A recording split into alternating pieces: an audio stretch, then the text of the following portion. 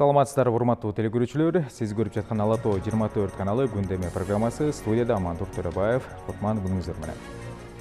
Учурда өлкөнүн энергетикалык тармактары күз кыш мезгилине кызуу даярданып жаткан маалы. Ал эми бул жасалып жаткан иштер керектөөчүлөрдү электр энергиясы менен үзгүлтүксүз камсыз кылуу болуп саналат.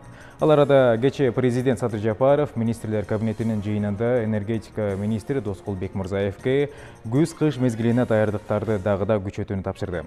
Урматтуу көрөрман бүгүнкү берүүбүздө энергетика тармагынын кышка даярдыктары тууралуу маекти жүргүзөлү деп турабыз программабызда түндүк электр ачык акционердик коомунун өндүрүш техник бөлүмүнүн жетекчиси максат дүйшекеев жана кыргызстан улуттук электр тармагы ачык акционердик коомунун өндүрүш техникалык бөлүмүнүн жетекчиси кубанычбек исмаилов студиябызда саламатсыздарбы кутмандуу күнүңүздөр менен студиябызга кош келиңиздер мынакей кечээ күнү президент дагы өз тапшырмасын берди ушул энергетика тармагын дагы да күчтөндүрүп күз кыш мезгилине даярдыктарды э, жакшырап э, камдагыла депчи анан учурда азыр кандай болуп жатат даярдыктар кызуу жүрүп жатабы айтсаңыздар э, негизинен биздин ачык акционердик коом кыргызстан улуттук электр тармагы бул э, жүз он эки жүз жыйырма беш жүз киловольт тармактарды тейлейбиз. Анын ичинде э, бир жүз токсон тогуз көмөк чордон жана беш миң жети жүз километрден ашык аба чубалгылар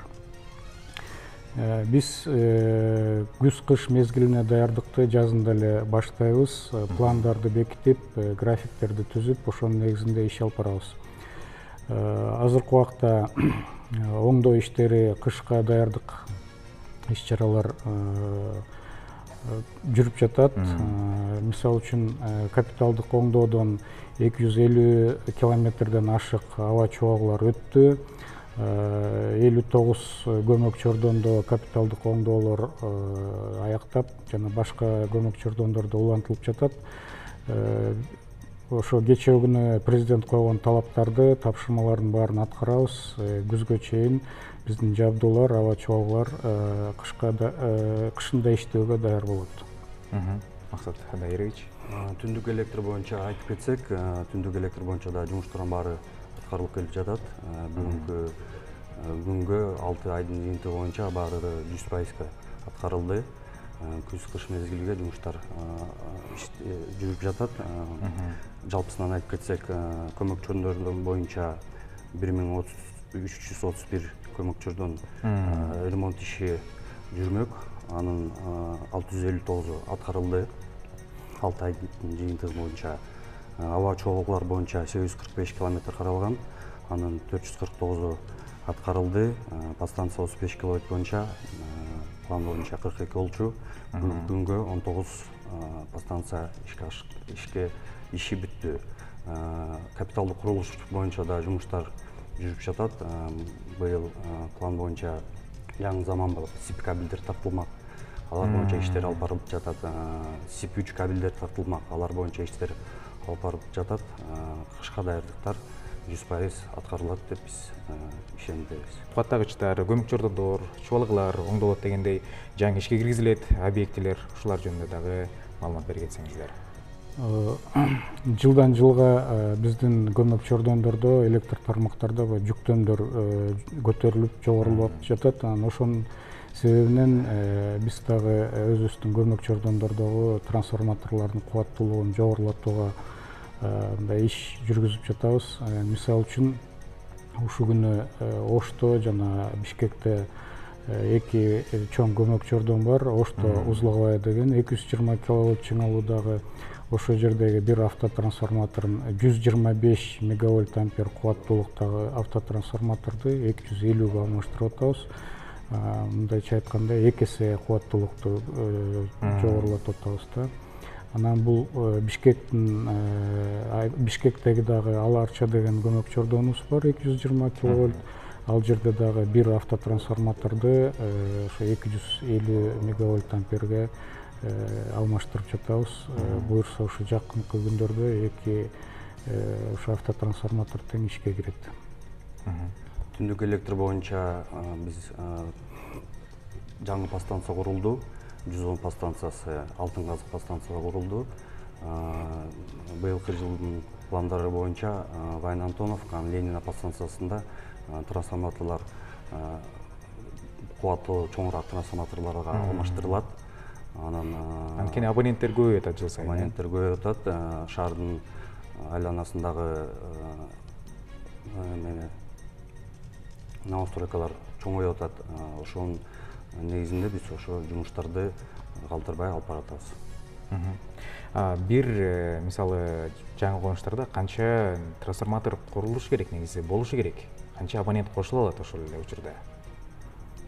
Ал абонент санына каралып саналыш керек эми. Ал ошол новостройканын көлүмүнө карата канча кубаттуулук сурайт ошого жараша биз карап иш кылабыз кубаттуулук жагы кандай болот? Жоготуулар дегендей анткени болсо азыркы учурда жоготуулар азайган болуш керек э мурдагы жылдарга караганда.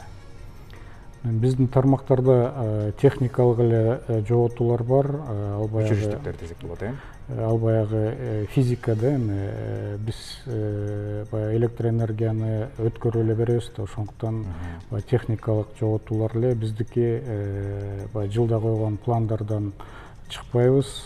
Быйыл мисалы үчүн беш бүтүн эки пайыздын тегерегинде болуп жатат. Азыркы убакта ошо мындай баягы коммерциялык жоготуу деген бизде болбойт только техникалык жоготуулар да. Аймактар тууралуу дагы айта кетсеңиздер аймактарда иштер кандай жүрүп жатат? Анткени болсо чоң чоң шаарларда билебиз э, жумуштар так аткарылат дегендей аймактар тууралуу.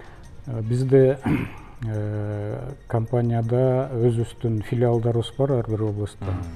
Ошол жерде э, баягы кызматтар өзүлөрүнүн иштерин алып жүрүп жатышат. Э, мисалы үчүн э, жана капиталдык курулушта алсак э, ошто оштун тегерегинде жана силер айтып кетпедиңерби жаңы конуштар деп. Ошолорду электроэнергия менен камсыздоону жогорулатуу үчүн барспек деген азыр көмөк чордон салынып жатат. Аяктап калдык. Азыр баягы текшерүүлөр жүрүп атат испытание ар түрдүү. Анан областтарда дагы баягы мурунку көмөк чордондордо трансформаторлорду алмаштырып мисалы үчүн э, бишкекте айни деген көмөк чордонубуз бар. Бул жал микрорайонунда жайгашкан ошол жерде алмашылат. Э, ошто э, ысык көлдө нарында анан баягы ал жерге ал жерден бошогон трансформаторлорду башка көмөк чордондорго орнотконго дагы пландарыбыз бар. Баягы каскадный алмаштыруу деп коебуз. Баягы э, керек болгон жерге э, жүктөмдөр көбөйгөн токсон пайыздан ашкан баягы көмөк чордондордогу трансформаторлорду алмаштырабыз. Түндүк электр боюнча он сегиз срез бар. Талас области чүй области бишкек шаары коллегам айткандай бизде дагы ошол пландарды биз жылга бекитип ошол пландар менен иш алып барып ар бир ар бир эменин пландары бар. Ошол пландар менен жумуштарды алып барат көмөк чордондорду алмаштырат чоңураак кубаттуулугуна линияларды алмаштырат. Жаңы заманбап сип кабелдерге сип үч кабелдерге шаар боюнча жердин астында жаткан кабелдерди алмаштыруу иштери дагы жүрүп жатат. Жаңы кабелдерге баары өзүнүн убактысы менен келе атат кабелдер деп калдык э, чынында эле заманбап э, чоң чоң шаарларда аба чыбалыкларын көрө албайбыз э, столбаларда дегендей баардыгы жер астынан кеткен. Биз дагы ошондой заманбап шартка өтсөк болобу мүмкүнбү? Жылдан жылга өтүп атабыз. Мына өткөн жылы шаар боюнча жаңы жердин астында кабелдер он беш километр каралса планда. Быйылкы жылга жыйырма километр каралды акча каражаты дагы жылдан жылга көбөйүп көбүрөөк пландап иштер ошонун баары ишке ашырылып атат мыйзамсыз кошулган абоненттер тууралуу дагы айта кетсеңиздер жакшы болот эле. Анткени болсо билебиз кээ бирөө такыр эч документи эч нерсеси жок эле кошулуп алгандар бар. Аларга кандай чаралар көрүлөт э, кандай э, айыппулдар салынат дегендей. Мыйзамсыз абоненттер боюнча эми андай азыр э, көп кездешпей калды. Көбүнчө элдер билип калды мыйзамдуу алып техникалык шарттарын алып кошулуп атышат. Андай эмелер кездешсе алар өчүрүлөт. Андан кийин мынакей электр энергиясын үнөмдөө боюнча дагы көптөгөн маселелер жаралып келди. Кантип үнөмдөш керек? Туура үнөмдөө боюнча дагы айта кетсеңиздер жакшы болот эле. Ушул э, биздин көрөрмандарга угармандарга дегендей эми акыркы бир эки жылдан бери ушу электр энергиянын үнөмдөө маданияты кичине жогорулады десек болот. Ар бир ушу кыргызстан жараны ошого өзгөчө көңүл буруп үйүндөгү баягы кереги жок бөлмөлөрдөгү светтерди өчүрүп баягы электр жылыткычтарды дагы пайдаланбай ушундай бир иш аракеттерди жасаса жакшы болот. Анан биз өзүбүздүн компанияда дагы ушундай электр энергияны үнөмдөө иш чараларыбыз дагы бар. Мисалы үчүн кышында баягы суук мезгилинде эки трансформатор иштесе жайында болсо бирөөнү баягы жүктөм азайгандыгынын себебинен өчүрүп бул дагы ошо электр энергияны үнөмдөө иш чараларына кирет жана башка көп иш чараларды биз өзүбүздүн компания баягы жогорку чыңалуу деңгээлинде дагы өткөрөбүз түндүк электр боюнча коллегам айткандай бизде деле ошондой иш чаралар каралган. Мен кошуп кетким келет ошо биздин кардарларга эле ошо бир аз түшүнүп ошо ушундай убакта үнөмдөп үйлөр эшиктер айнектерин жылуулатып ал деле мындай айтса туура эмес маселе деп кээкилер кабыл алат. Ар бир адам өзүнөн башташы керек түндүк электр боюнча үнөмдөө боюнча көп жумуштар каралган анын баары аткарылып келип жатат.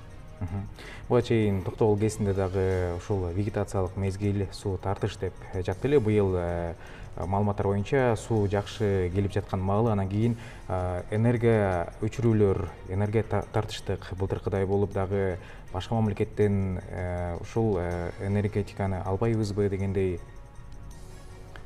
эми ал азыркы убакта бизде маалымат боюнча токтогул суу сактагычында э, суу он эки миллиард беш жүз миллиондон ашты. Э, былтыркы жылга салыштырмалуу көбүрөөк. Э, бирок эми жайында азыр баягы өзүңөр айткандай сугатка дагы суу керек болот. Эми биз ишенебиз кышында энергетиктер да мындай кыйынчылык деле болбош керек биз өзүбүз тарабынан бүт болгон э, кышка даярдык иш чараларды көрүп атабыз э, бүт аракетти жасайбыз.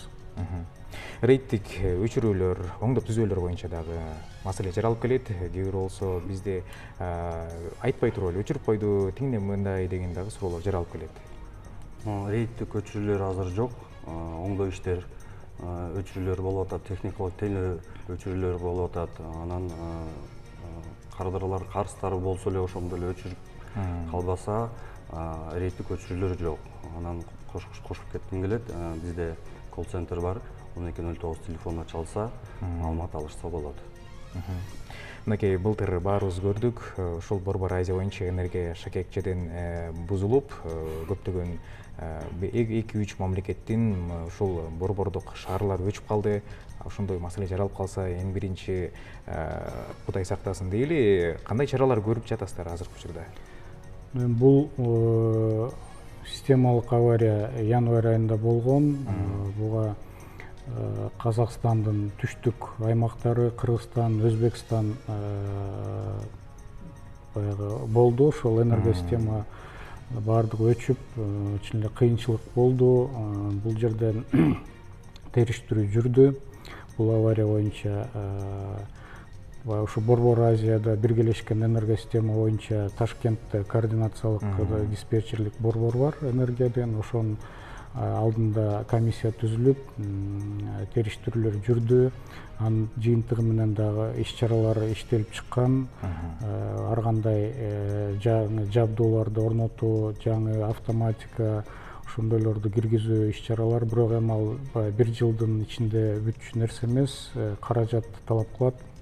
Ошондуктан ушу биргелешкен э, Э, орто азия биргелешкен энергосистемасына кирген өлкөлөр ошого өзүлөрүнүн каражаттарын жумшап кийин мындай авария болбогондой иш чараларды көрүп жатабыз.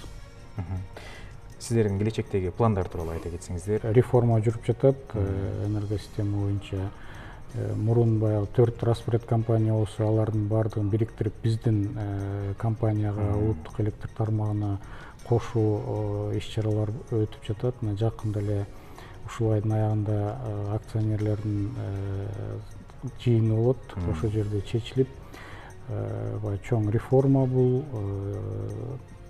Эми ошонун алкагында биз ойлойбуз баягы иштерибиз дагы алга чоң чоң кадам таштап жылат деген ойлорубуз бар мурункудай чачыранда эмес мындай борборлоштурулган болуп калат э ооба сиздерге чоң рахмат эфирибизге келип күз кыш мезгилинин даярдыгы тууралуу маек жүргүзгөнүңүздөргө ишиңизге ийгиликтерди каалайбыз кайра болуңуздар чоң рахмат урматтуу көрөрман күндөмө программасында түндүк электр ачык акционердик коомунун өндүрүш техникалык бөлүмүнүн жетекчиси максат дүйшекеев жана кыргызстан улуттук электр тармагы ачык акционердик коомунун өндүрүш техникалык бөлүмүнүн жетекчиси кубанычбек исмаилов менен өлкөнүн энергетика тармагынын кышка даярдыктары тууралуу маек жүргүздүк ушуну менен бүгүнкү берүүбүздүн жыйынтыктайбыз биздин каналдан алыстабаңыз